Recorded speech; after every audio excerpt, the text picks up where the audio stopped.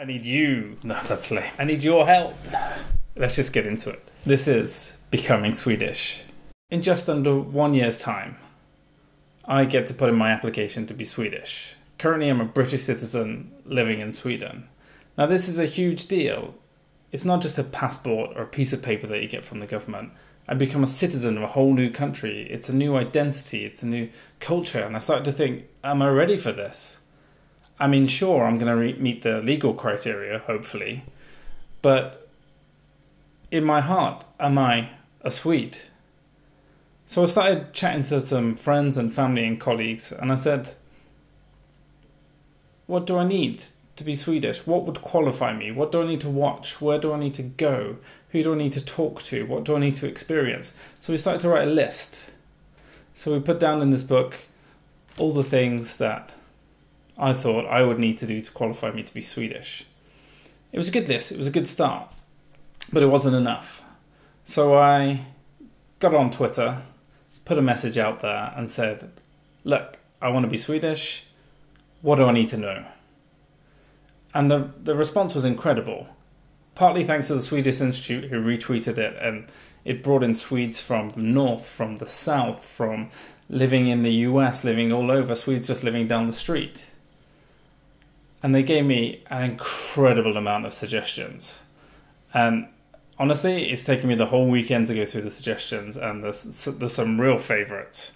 There's uh, from places to visit, Visby, Kiruna, some uh, suggestions that came up quite often. There was a lot of suggestions about things I should be eating, making my own kanelbulle, eating surströmming was one that came up several times.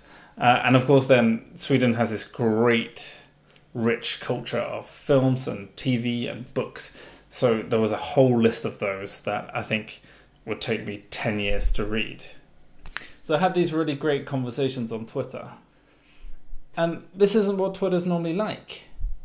Twitter is normally a shouting factory, so it was really refreshing to meet these people that wanted to tell me about their culture and their daily lives. So it got me thinking what if this project of me learning about Sweden was more than me traveling the country and eating nice food and reading a book?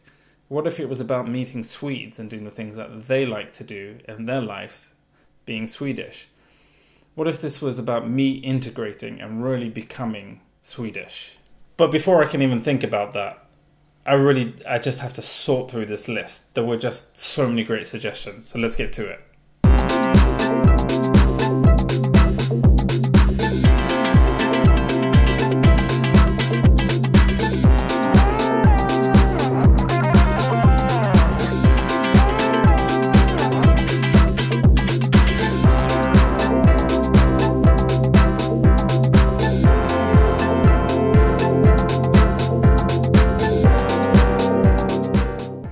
So now the list is complete. I have a rough roadmap on what I need to do to qualify myself to be a real Swede. But there's one thing missing real Swedes.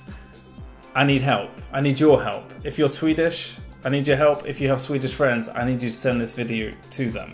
For this to be a real integration process, I need to meet Swedes. I need to find out firsthand from Swedes up and down the country or all around the world of what it means to be a Swede. So this is a call for help.